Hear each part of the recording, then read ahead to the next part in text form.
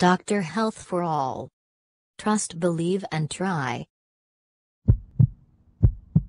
As the weather changes, it also affects our body, and the most affected body part is our lips.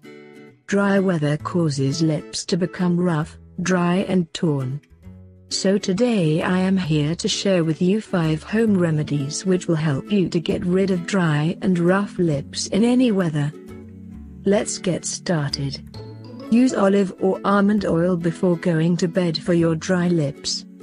You can also make a gel for your lips. Ingredients required are regular wax and lemon juice. Mix them and apply it to your lips.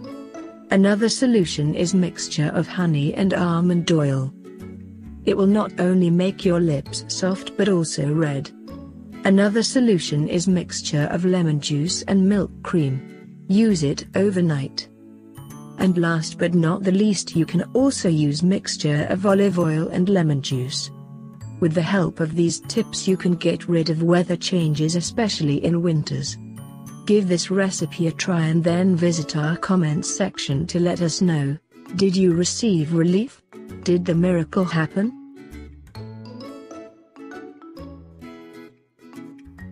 Don't forget to like, subscribe, and share.